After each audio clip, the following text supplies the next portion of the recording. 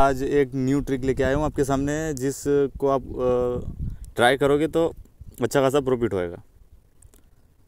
वो ट्रिक एक बहुत बड़ी प्रॉब्लम है। सब लोगों के लिए यही ट्रिक मतलब एक चीज़, एक बहुत डेंजरस हो रही है।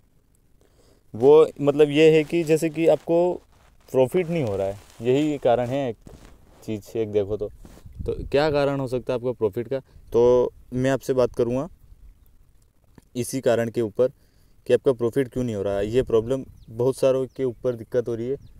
तो इसलिए आप पूरा वीडियो देखना, ज़रूर देखना और समझने की कोशिश करना। मैं नागेश्वर, मैं मेरे यूट्यूब चैनल पे आपका स्वागत करता हूँ और आपने अगर यूट्यूब चैनल सब्सक्राइब नहीं किया तो आप सब्सक्राइब कर लीजिए और आपको फ्री टीम चाहिए तो आप मेरा टेलीग्राम चैनल ज्वाइन कर लीजिए, जिससे आप खेलकर अच्छा खासा प्रॉफिट कर सकते हो। डिस्क्रिप्शन में लिंक दे रखी है, आप वहाँ जाके लिंक पर क्लिक करोगे तो आप मेरे टेलीग्राम से ज्वाइन हो सकते हो। अगर आप लिंक वर्क नहीं कर रही है तो आप जो यूट्यूब पर लोगो है, उसके अनुसार आप टेलीग्राम पर सर्च कर सकते हो, हरू fantasy. H A R U ठीक है? तो ये दिक्कत बहुत सारे लोगों के ऊपर होती है कि हम इन्वेस्टमेंट करते हैं और हमारा कैप्टन भी चलता है, वो हमारी टीम भी चलती है और हमारी टीम के बहुत सारे पॉइंट होते हैं, उसके बाद भी हम लॉस में हो जाते हैं। तो ये क्या दिक्कत है? ये दिक्कत है आपकी इन्वेस्टमेंट के ऊपर, ठीक है? आप क्या करते हो कि जैसे कि आपने एक मैच में इन्वेस्टमेंट किया है और उस टीम में, उस मैच में आपकी टीम अच्छी गई है, ठीक है? मैं आपको तीन मैच का एग्ज़ाम्पल देता हूँ, उस एग्ज़ाम्पल के ज़रिए आपको समझ में आ जाएगा कि हमको क्या करना चाहिए।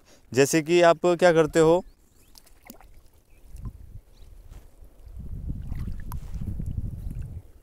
आप क्या करते हो कि आपकी टीम भी अच्छी रहती है और देखो, मेरी बात सुनो कि ये तो फैंटेसी है, ये लक के ऊपर होता है, ठीक है? आप तीन मैच खेल रहे हो, तीन में से एक हार भी सकते हो, एक जीत भी सकते हो, तीन भी जीत सकते हो, तीन भी हार सकते हो, ठीक है? ये फैंटेसी के ऊपर। पर एक फिफ्टी परसेंट लोगों के लिए क्या होता है सेवेंटी परसेंट लोगों के लिए क्या होता है कि वो तीन मैच में से या तो दो मैच जीतते हैं या फिर दो मैच हारते हैं, ठीक है?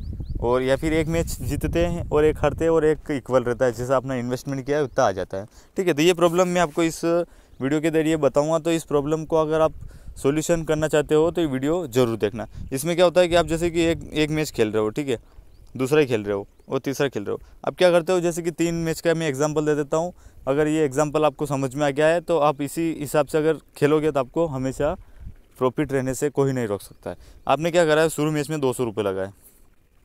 ठीक है, आपका मैच अच्छा गया प्रॉफिट हो गया, इसका दो, तीन मेंबर में आपने खेला तो आप जीत गए। आपके पास कितना हो गया? छः सौ रुपये आप एग्ज़ाम हिसाब के हिसाब से आप छः सौ रुपये के आसपास आप विन करें, ठीक है? तो आप क्या करते हो नेक्स्ट मैच में कि छः सौ रुपये आपके पास है तो आप क्या करते हो कि चार सौ रुपये लगा देते हो, या फिर तीन सौ रुपये लगा देते हो, ऐसा कुछ करते हो जिसके कारण वो मैच या तो एवरेज हो जाता है या फिर आपका लॉस हो जाता है।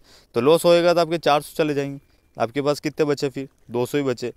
तो 200 मैच, अब दो मैच खेलने के बाद आपके पास क्या रह गया इन्वेस्टमेंट 200 ही रह गया तो क्या मतलब खेलने का? ठीक है, अब आप ऐसा करते हो। तो ये ऐसा नहीं करना चाहिए। देख, ठीक है, आपको क्या करना चाहिए कि एक तो इन्वेस्टमेंट सेम करना चाहिए। हर एक मैच में सेम इन्वेस्टमेंट करोगे तो आप अच्छा खासा प्रॉफिट करोगे, ठीक है? इस बात से सहमत हो तो आप ज़रूर ट्राई करना इस चीज़ को, ठीक है? धन्यवाद, मिलते हैं नेक्स्ट वीडियो में।